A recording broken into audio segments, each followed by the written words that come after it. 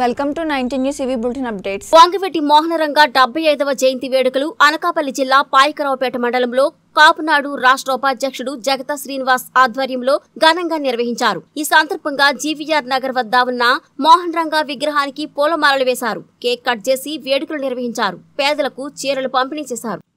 మండలంలోని అరట్లకోట గ్రామంలో నూతనంగా ఏర్పాటు చేసిన వాంగివెటి మోహనరంగ విగ్రహాన్ని నాయకులు ఆవిష్కరించారు ఈ కార్యక్రమంలో నాయకులు తోట నాగేష్ గొర్రెల రాజబాబు మజ్జూరు నారాయణరావు దగ్గుపల్లి సాయిబాబా యాళ్ళ వరహాలబాబు పెద్దిరెడ్డి ఈశ్వరరావు ఆచంట దొర పెప్సి శ్రీను తదితరులు పాల్గొన్నారు జై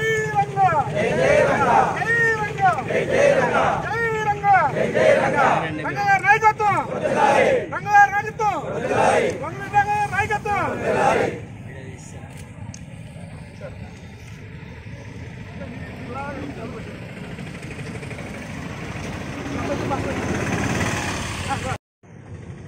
అభినందనలు తెలియజేస్తూ ఈరోజు కాపు ముద్దుబిడ్డ మన కాపుల కోసం పోరాడేటువంటి పొడుగు బలహీన వ్యక్తి వర్గాల గురించి ఆ రోజుల్లో కాపుల్లో ఎవరైనా నాయకుడు ఉన్నాడంటే మన వంగపీడి మోహన్ రంగారాయణ మొదటి మొదలు చెప్తారు. ఎందుకంటే ఆయన డెబ్బై ఐదో జన్మదినం సందర్భంగా ఈరోజు ఆయన లేకపోయినా ఆయన స్ఫూర్తిని మన కాపు నాయకులందరూ కూడా తీసుకొని ఆయన చేసే సేవా కార్యక్రమాలు ఏంటి కాపులు వెనక దండగా నిలబడేటువంటి వ్యక్తి మా వంగవీడి మోహన్ రంగారావు ఆయన చనిపోయిన తర్వాత ఆయన్ని హత్య చేసిన తర్వాత ఇదే పాయకరాపేటలో కోట నాగేష్ గారు మేము అలాగే మా కాపు నాయకులు అందరూ కూడా చాలా ఆ రోజుల్లో శేషుల్ని కూడా మా మీద కేసులు పెట్టారు. ఎందుకంటే ఒక నాయకుడిని చంపడంలో ఆ నాయకుడు అక్కడితో ఆగిపోద్ది అనుకుంటారు కానీ ఒకరు చనిపోతే మరొకరు మరో నాయకుడు తయారవుతాడు సంగతి అప్పుడున్న రాజకీయ నాయకులు తెలియకపోవచ్చు. కానీ ఈరోజు ఆయన స్ఫూర్తితో జిల్లా అంతా కూడా వంగమీటి మోహన్ రావు గారు మర్చిపోకుండా విగ్రహాలని కట్టి ఈరోజు ఎంతో ఆయన ఆయన తలుచుకొని జనదేవ కార్యక్రమం చేస్తారు కాబట్టి వాళ్ళందరూ కూడా మా బాబు అందరూ ఐక్యంగా ఉండాలని చెప్పి మరొక కోరుకుంటూ సెలవు.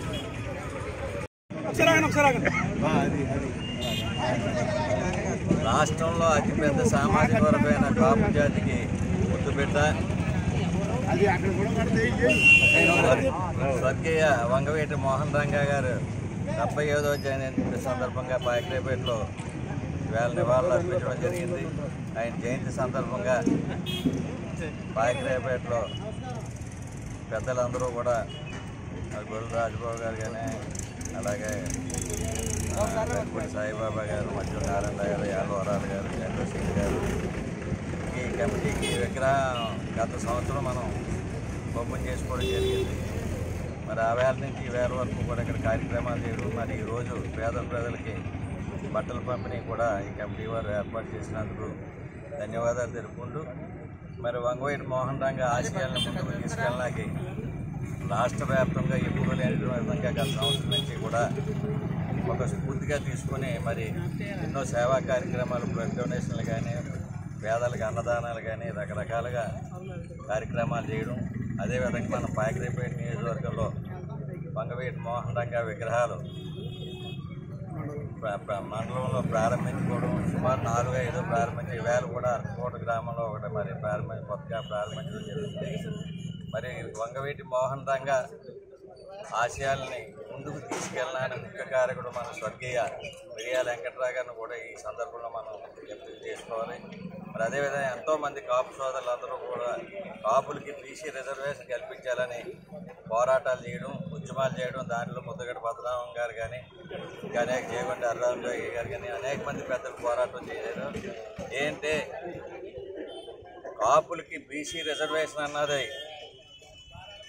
స్వరాజ్యం రాకముందు నుంచి ఉంది. స్వరాజ్యం వచ్చిన తర్వాత ప్రత్యేక ఆంధ్రప్రదేశ్ ఏర్పడిన తర్వాత నీలం సంజీవ్ రెడ్డి గారు కాపుల్ని బీసీలోంచి తొలగించడం జరిగింది పంతొమ్మిది వందల యాభై ఏడులోనే. తర్వాత పంతొమ్మిది వందల అరవై అరవై ఒకటిలో దళిత నాయకుడు దామోదరం సంజీవి గారు ముఖ్యమంత్రి అవ్వాక కాపులు బీసీలో ఉండాలని ఎలుగెత్తి చాటి కాపులు బీసీలో చేసిన ఘనత ఒక దళిత నాయకుడు దామోదరం సంజీవి గారికే దక్కిందని సందర్భంలో తెలియజేస్తున్నాను అందరికీ. అదేవిధంగా బాబాసాహెబ్ బాబాసాహెబ్ అంబేద్కర్ కూడా సైమన్ కమిషన్ ముందు పంతొమ్మిది వందల ఇరవై ఏడులోనే ఆంధ్రప్రదేశ్లో కాదు లేదంటే ఉమ్మడి మద్రాసు గవర్నమెంట్లో ఉన్నప్పుడు ఇటు మున్నూరు కాపు నుంచి ఒంటరి బలిజ